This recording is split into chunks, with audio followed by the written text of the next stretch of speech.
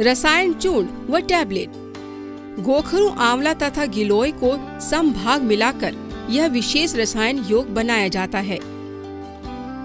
यह चूर्ण पौष्टिक, बलप्रद, खुलकर पेशाब लाने वाला एवं वीर दोष को दूर करने वाला है। जीर्ण ज्वर तथा धातुगत ज्वर दूर करता है।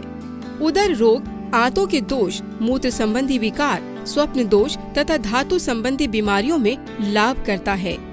पाचन तंत्र, नाड़ी तंत्र तथा ओज वीर्य की रक्षा करता है। छोटे बड़े, रोगी निरोगी सभी इसका सेवन कर सकते हैं। रसायन चूर्ण बड़ी उम्र में होने वाली व्याधियों का नाश करता है।